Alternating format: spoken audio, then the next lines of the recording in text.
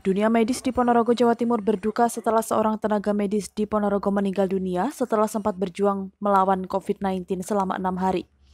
Mirisnya bayi berusia kandungan 8 bulan juga meninggal dunia sehari sebelumnya.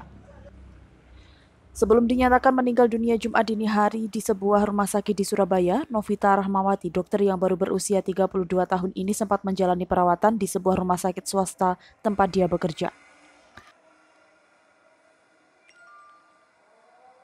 Karena kondisi menurun, dokter muda ini dirujuk ke sebuah rumah sakit di Surabaya. Sayang, setelah menjalani perawatan selama lima hari, bayi dalam kandungan yang sudah berusia kandungan 8 bulan meninggal dunia, sementara sang ibu meninggal dunia keesokan harinya. Sebagai wujud solidaritas dan keprihatinan, seluruh tenaga medis di Ponorogo sejak hari ini hingga dua hari ke depan memakai pita hitam di lengan baju.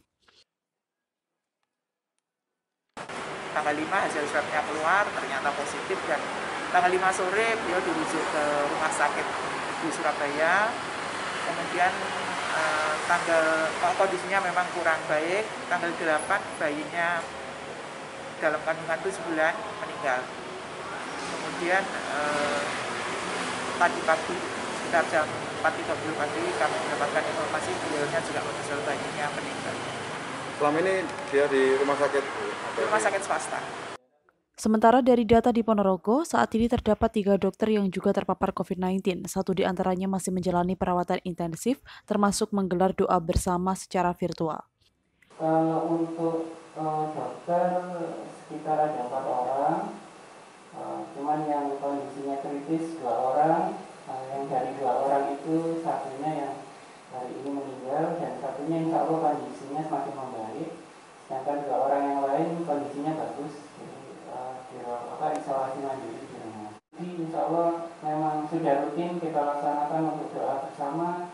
Selain ikhtiar-ikhtiar di dunia kesehatan doa bersama terus juga selalu mengingatkan ke teman-teman untuk selalu menjaga proteksi dirinya agar tidak lalai itu aja dari data di Dinkes Ponorogo, Jawa Timur, saat ini terdapat 883 orang dinyatakan positif COVID-19, 229 menjalani isolasi mandiri, 31 orang meninggal dunia. Dari Ponorogo, Sumarno, Garda TV.